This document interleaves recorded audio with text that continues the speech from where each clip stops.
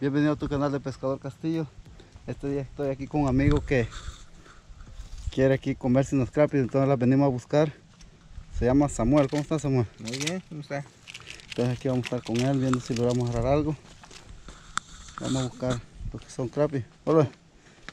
Vamos a buscar unas crappies a ver si las encontramos.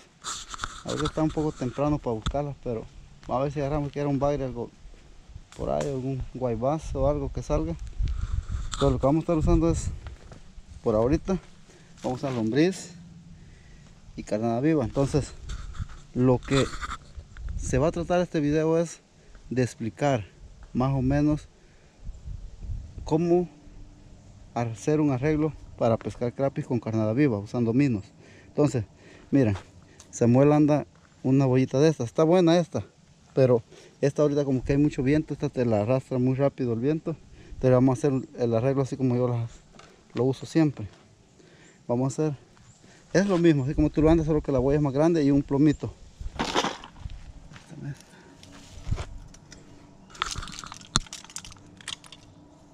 Este, este nudo que tú andas está bien, pero mira, ¿con cuánto tienes que cambiar este anzuelo?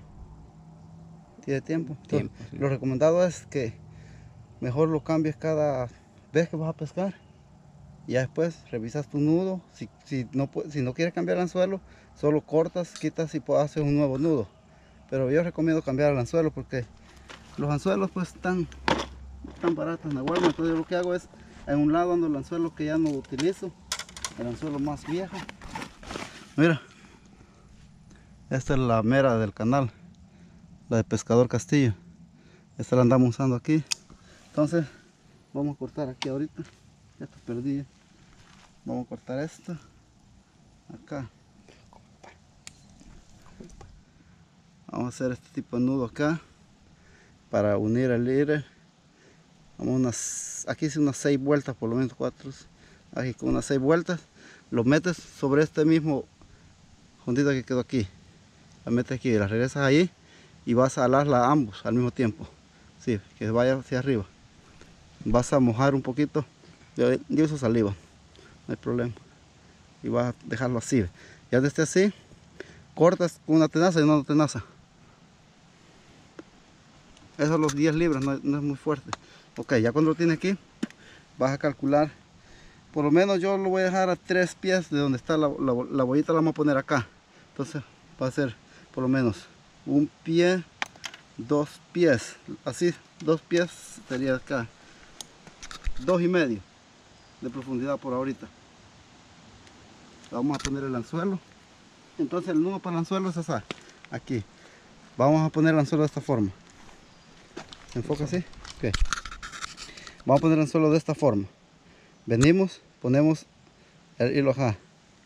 Lo vamos a dejar por lo menos de este así, este largo así. Y vamos a hacer este tipo así, una honda así. O un aro, como tú le quieras llamar.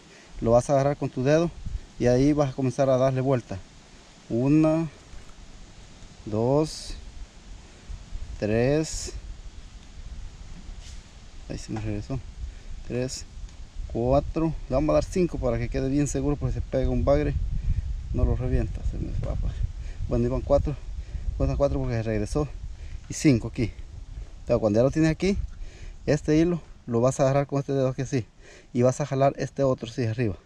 Lo vas a ir jalando, jalando, hasta que ya, mira, llega aquí y te va a quedar de esta forma. Aquí vas a picar algo fuerte, no se va a ir. Entonces lo recomendado es dejar un, un- así más o menos queda bien, pero lo vamos a cortar un poquito más. Así, quede así. Por si llegara a ir un poquito hacia arriba, no se revienta. Esta este nudo es muy seguro. Entonces ahorita vamos a arreglar lo que es la bollita. Vamos a quitar esta. Samuel compró dos bollitas para él, pero pues lamentablemente las olvidó. pero vamos a poner de estas que yo ando aquí. Entonces, es esta así, mira. El plomo, la parte del plomo va siempre hacia abajo para que la para que la bolita tenga como un equilibrio en el agua, se mantenga, entonces va hacia abajo. Lo vamos a poner aquí, de esta forma. Le vamos a dar tres vueltas, una, dos, tres, para que quede seguro. Y la vamos a procurar que se enganche en el mismo hoyito que trae ahí la, bol- la bollita, ahí bajo llame. Ahí va a quedar bien enganchado y le vamos a dar otras tres vueltas en la parte de arriba. Vamos a buscar así bajarlo. Y vamos a dar otra pues. Una dos tres. Lo sacamos de este lado y que quede siempre enganchadito. Mire. Ok ya tenemos ese arreglo. Hoy vamos a poner un plomo. Plomo usando aquí mucho. Y lo mismo yo tengo que se tiene que para todo esto se usa pinzas. Es un plomito de esto así chiquitito. Pues yo creo que es de 3 cuartos no sé cuánto pesará este plomo pero bien que es un plomo pequeñito. Se abre con una tenaza pero yo no tengo tenaza. Que quede se abre así y se mete acá. Lo recomendado fuera que lo metamos acá pegado a la yo lo uso pegado aquí a la bolita pero como no hay mucho espacio no le dejé lo voy a poner acá. Es lo mismo. Aquí está así que va a quedar así. Siempre tiene que quedar pegado aquí pero yo no le dejé espacio y me olvidó lo vamos a poner ahí está seguro. Entonces aquí ya está listo solo poner el, el mino las lanzas y la carnada viva la dejas. Ella hace su trabajo él queda haciéndole en esta forma ¿ve? alrededor del, del este, de la bollita él queda pero que queda libre aquí queda girando. El movimiento la crappie se atrae y llega y donde llega come es donde ella queda trabada. Entonces de, ese, de eso se trata este video un tutorial cómo pescar crappies con carnada viva así que ahí te lo vamos a estar dejando para que si tú no sabías cómo hacerlo esta es la forma como yo las agarro y me ha funcionado. Ok. Cómo poner el pescadito hay dos formas. Te voy a enseñar la primera. Este es el tipo de pescadito que usamos nosotros aquí. Se le llaman minos. Este sí mire hay dos formas. O lo puedes enganchar de acá de su columna sin dañarle la columna vertebral. Lo metes como por aquí así. A modo de no dañar la columna vertebral para que él permanezca vivo o lo puede enganchar de esta parte aquí de su boca donde van así los ojitos metes aquí el anzuelo lo pasas hacia arriba. Esto va así que salga al otro lado ya queda el enganchito de su boca él va a quedar vivo aquí aquí en esta forma dura vivo más tiempo. Ahí así. Entonces esas son las formas cómo preparar tu arreglo para pescar crapis entonces vamos a hacer este lance esta es la caña de don Samuel. Yo se lo voy a lanzar a él ahorita para que él vea. Hoy sí, no, este. bueno ahí está miren ahí se va a quedar esperando un tiempo más o menos solo tener más o menos tensada la línea y esperando el pique. Así cuando pica tú solo vas a hacer un jaloncito así ve. Así a modo de atraértelo así ¿ve? y ya lo puedes mantener ahí tiempo y estarlo jaloneando poco a poco. Y yo lo que acostumbro es relajarme, sentarme, esperar donde veo que la bolita se hunde. Vamos, para afuera. Y así pues aquí vamos a estar pescando por unas cuantas horas. A ver qué cae.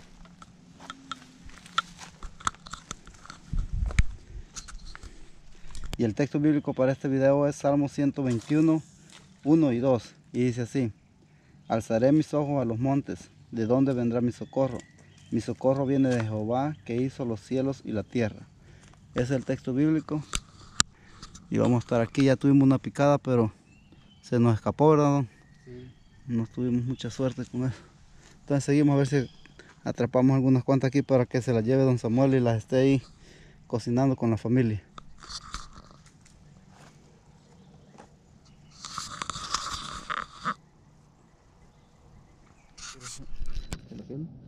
Como que si quieres aquí la tengo.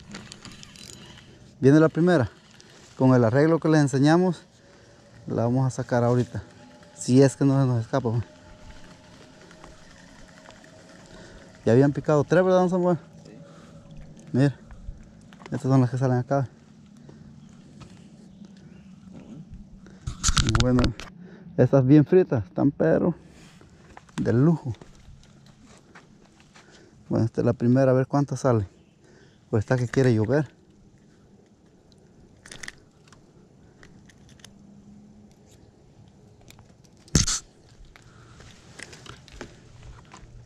Ok. No está tan grande, está como de unos, encuentro que algunas 12, 10 pulgadas, 12. 10. Vamos a amarrarlas aquí para que se mantengan aquí frescas. Aquí las vamos a amarrar para que no nos vayan a escapar.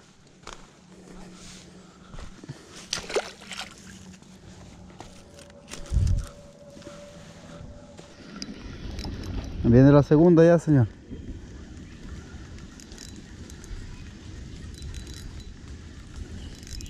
A ver qué tal está, porque viene dando guerra, pero se no, no, no jalaba ya. No es, como que no fuera a mojarla. Sí, es scrap, pero mira, se veía como que estaba pequeñita, pero está grande. ¿Ve?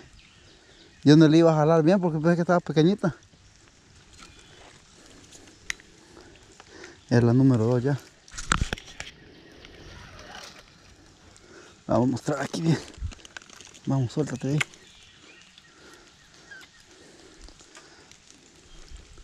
Esta es la número 2.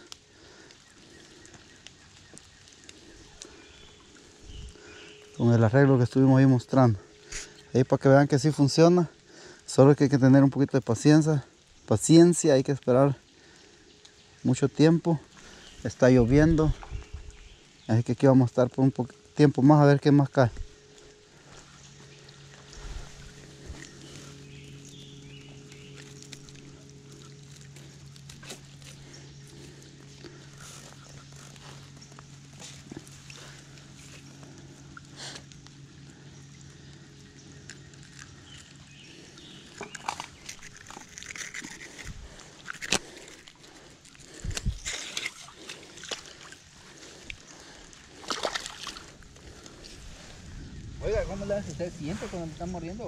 Mira, se va a ver así, le así. Llega, las mueven así la bollita, ya tú ya te quedas con la caña agarrada. Cuando ves que se, cuando se ve que va, abajo, ya la jala. Le pega un jaloncito porque ya sola se trae. Pero tienes que asegurarte que ya va hacia abajo. Porque ya llega a comer primero. Hay unas que son agresivas. Llegan, cuando vienes ya no ves la bolita.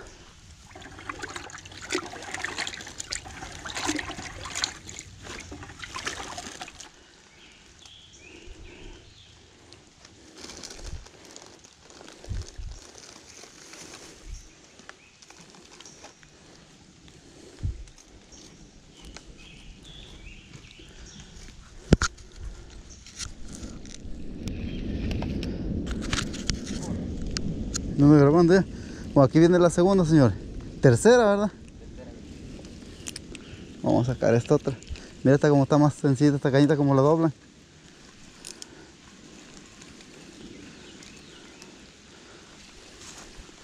traigo la línea que también ya. Estamos bien agresivos. Todas las líneas me trae aquí manera ya. Mire cómo trae las líneas aquí. Pero vienen solo ensartadas en el anzuelo. Ok, esta es la número 3. Pero esta no la vamos a llevar. Mira, tiene un este un golpe aquí o habrá sido que le atacó algo otro. Mira. Mira ese golpe que tiene aquí. Yo creo que no la vamos a estar llevando. ¿Se paró? ¿Qué fue? ¿Se te picó? Oh, Mm. Ok, le vamos a mostrar aquí que esta es mordida. Yo creo que por no la vamos a estar llevando. La vamos a liberar para que se, se cicatrice bien. Y en la próxima que la abollemos, entonces sí la llevamos. Sí, sí, es como mordida de golpes, a ver qué será. Lo vamos a liberar. Vamos a hacer una pequeña explicación. ¿Cómo? Ahí va, se va. Vete. Miren, ahí quiere ir. Ahí anda por todos los días. Híjole, hoy viene de todos lados, vamos. Hoy sí viene atacando de todos lados. Híjole, madre. Esta es de la que tienen que buscarle por escu- Híjole, madre. Sí me mueve la espalda otra vez. Fue el aire que lo dejó caer en la rata, lo dejaron. Sí. Ve, vamos a dar la explicación porque ya nos toca irnos. Llegó aquella a picarle más. A esa de ahí la llegó a morder.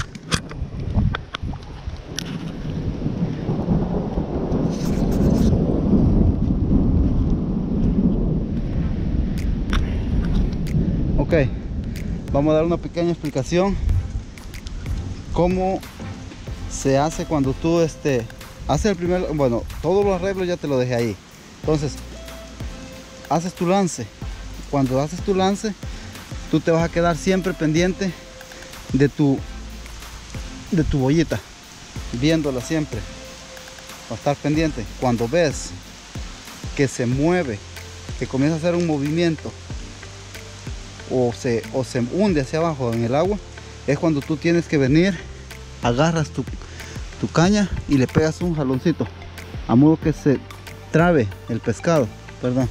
Le pegas un jaloncito, así, mira, un jaloncito así, a modo que el pescado quede enganchado en el anzuelo y ya cuando ya queda enganchado ya comienzas a pelear, a sacarlo. Esas son las técnicas que yo utilizo para pescar la crappie. Hay muchas técnicas también. Hay sin flotador, tirándole hacia el fondo con un plomito. Hay con engañador también, con crappie jig. Hay muchas técnicas, pero esa es la técnica que a mí me funciona y me encanta porque vengo a relajar y a, a estar aquí siempre pasando un buen momento. Así que vamos a cortar aquí este video porque está lloviendo muy fuerte está pasando una tormenta ahorita entonces no sabemos si vamos a poder seguir pescando ya agarramos dos tres hemos agarrado una la dejamos ir porque estaba golpeada así que él se va a estar llevando esas dos y no sabemos si va a caer algo más ahorita y además está lloviendo bien fuerte. Así que bendiciones. No se te olvide suscribirte al canal dejarnos un like un comentario y vamos a estar subiendo más videos o algunos tutoriales de cómo hacer otro tipo de pesca como de bagre también te podemos hacer un tutorial. Ok don Samuel gracias por estarnos acompañando aquí en este video y espero que pronto volvamos a hacer algo otro más. Miren se vino muy fuerte el agua así que nos despedimos. Bendiciones